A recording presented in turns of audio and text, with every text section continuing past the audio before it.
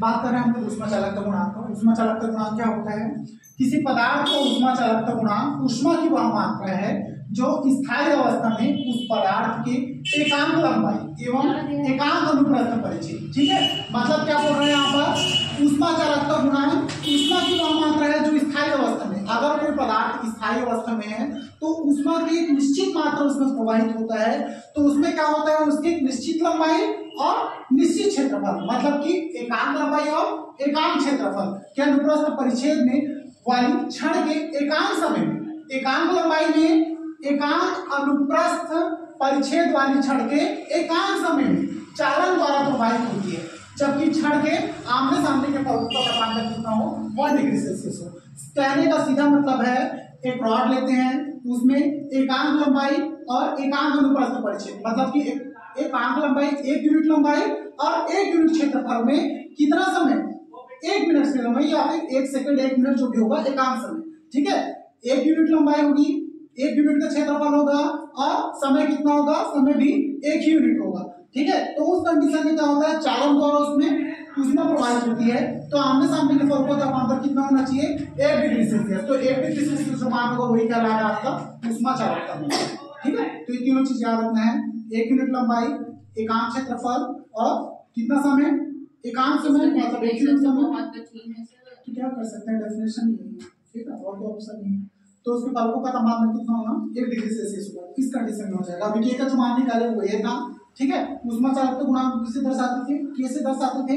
सारा वैल्यू इधर शिफ्ट कर दो तो ये का मान निकल जाएगा। देखो के का अगर मान निकालना हो तो क्यू एल को एक साथ शिफ्ट कर दो। ये हो गया क्यू एल और अपॉन क्या हो जाएगा? A T one minus T two ठीक है? इसका ऐसे ही मात्र निकालने आता है। डायरेक्ट तो मैं लिखती हूँ इतना लेकिन निकालो तो कैसे? चलो बताओ तो कैसे निकालोगे आना चाहिए। एग्ज़ाम में ये चीज़ें ये भले याद रख के चल जाओगे ये माइंड से निकल जाएगा। ये नहीं आएगा माइंड कैसे निकालोगे बताओ? जूल होता है उष्मा का चलो उष्मा का जूल मतलब क्यू का क्या लिखेंगे हम लोग? जूल चलो बताओ तो निकालो। है है। अरे यहाँ एल है। एल का क्या होता है? मीटर। मीटर होता है। ठीक है ऐसा ही मात्रा की बताना सबका। ये हो गया मीटर। ठीक है अपॉन ए का क्या होता है? क्षेत्रफल का वो होता है। Metre square.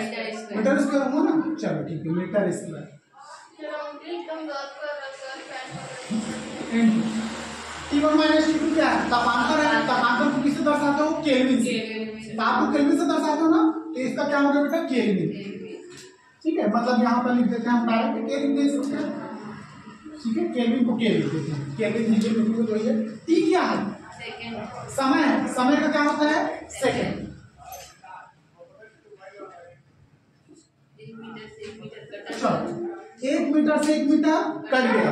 एक मीटर बचा तो क्या क्या बचा? ऊपर में ऊपर में क्या बचा? ऊपर में जूल बचा। जूल बचा। नीचे में? मीटर और केल्विन और सेकंड मीटर केल्विन सेकंड तो देखो ऊपर में जूल बचा। नीचे में मीटर केल्विन सेकंड तो इसको आगे पीछे करके लिख सकते हो ऐसा? बचा ना? तो यहाँ पर डायरेक्ट लिख सकते हैं। जूल प्रति सेकंड मीटर केल्विन। ठीक है? ठीक है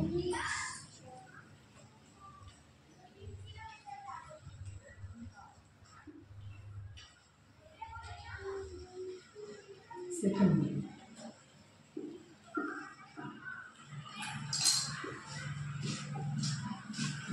ठीक है? तो ऐसे निकालने आना चाहिए। ऐसे मात्रा कैसे निकालोगे? ही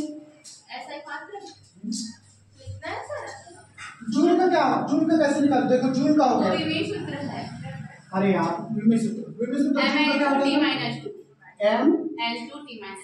M L two T two L power minus two चलो ये तो हो गया। नीचे क्या क्या बचा? सेकंड का सेकंड का टी हाँ। और मीटर का एल हो जाएगा। मीटर का क्या हो गया? एल मीटर का चलो एल हो गया। और केल्विन का तो के ही रहता है। केल्विन का के ही है।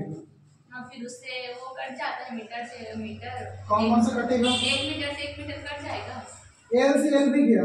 हाँ। टी से टी जाएगा क्या? नीचे में टी है नहीं ऊपर जाके ऊपर चला जाएगा तो नहीं नहीं जाएगा। के से कहाँ कट? के तो ऊपर में है ही नहीं। तो मैं कहाँ बोलूँ टी के के ऊपर ऊपर जाएगा। कटा बोली के ऊपर क्या क्या बचा? देखो एम बचा हाँ।